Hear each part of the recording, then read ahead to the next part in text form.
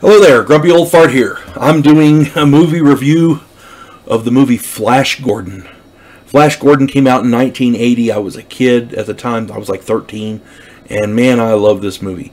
It's an action adventure science fiction movie, and it is wonderful. Uh,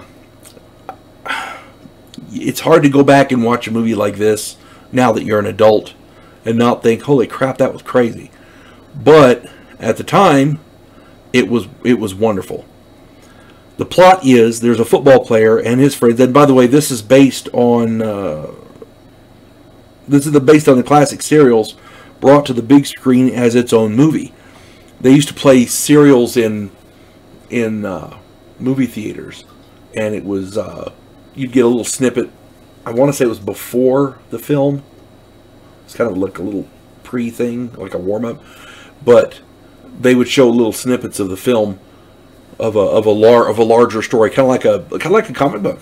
You know, they would show little snippets of it, and then go on with the main movie. And the, the little snippets, if you watched them enough movies in order, they made they made their own story, and that's where Flash Gordon achieved. I, I think achieved his greatest fame. Um, but anyway, uh, this it, it's Everything about this is good, including it has a really great soundtrack by Queen. Let me get back to the plot because I've skipped a bunch here. Uh, the, a football player and his friends hop on a rocket ship and blast off to the planet Mongo to save Earth from the diabolical attacks of the vicious tyrant and conqueror Ming the Merciless. Flash must write, or excuse me, Flash must unite. Can't read my own writing. He must unite the warring kingdoms against Ming. Keep in mind, I'm going to say this again, this is not a serious movie. But it is a fun, fast-paced action adventure with corny jokes, silly special effects, and just outrageous dialogue. Um, this I, am gonna I'm gonna plug it again. The soundtrack by Queen is brilliant. Queen did a, a lot of uh, music for a lot of different movies. Uh, the song "We Are the Champions." Um, well, the, the, the Princes of the Universe for the Highlander movie and the Highlander TV series. Um, it's just really great artists. Freddie Mercury was a treasure, and he's gone now. Man could sing his ass off. Um, all right, let's go on with this. Get to the cast. Sam J. Jones, he plays Flash Gordon. Melody Anderson plays Dale Arden, the, the girl. Uh, Max von Sydow, Brian Blessed, Richard O'Brien, Topol, T-O-P-O-L, Topol. Ornella Muti, Timothy Dalton, he later on went on to play uh, James Bond.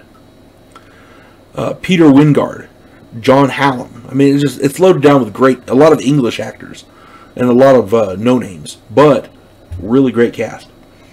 Uh, I try to do standouts here. Um, now keep in mind, there, there's every movie has its place. This particular movie is not meant to be taken seriously. The special effects were corny. It wasn't. It was intended to be like one of those 1930 serials, you know. So they tried to make it, they tried to give it that feel. And with modern special effects the way they are, it kind of kind of comes across as corny. So, but listen to this: Max von Sydow played Ming the Merciless. This man is brilliant in everything he does. This, in my opinion, this movie was beneath him. But he forced himself into this kind of classical dastardly villain type role and he really pulled it off. He actually elevated this movie up a few notches in my opinion because you don't put Max von Sydow in a movie and it be even remotely bad. So they were, it was going to be a good movie if, if if all it did was him sitting around reading the back of a cereal box. It was going to be good. Okay. Uh, the other standout, there's a man named Brian Blessed he plays uh, Prince Vultan, and he's just such a great guy. Brian Blessed is a really, really good guy. He comes from uh, his, his parents were miners in England, they mined. I want to say coal, if I'm not mistaken. And uh, his parents didn't want him growing up in that line of work, you know, because you know, and he had acting talent, so he became an actor, and he became a damn good actor. Um, and it, again, with him, he's such a great actor. Seeing how great an actor he is in other things since then, I have to say he, he pretty well had to force himself himself into that role as well. And again, he did it brilliantly. This is this is the acting is is pretty good. The, again, they tried to make it like the 1930s serials, but you put it in a modern setting and it does come across as corny. I'm absolutely positive these people had a hell of a lot of fun making this movie just because it was corny. So, how often as a serious actor do you get to do corny?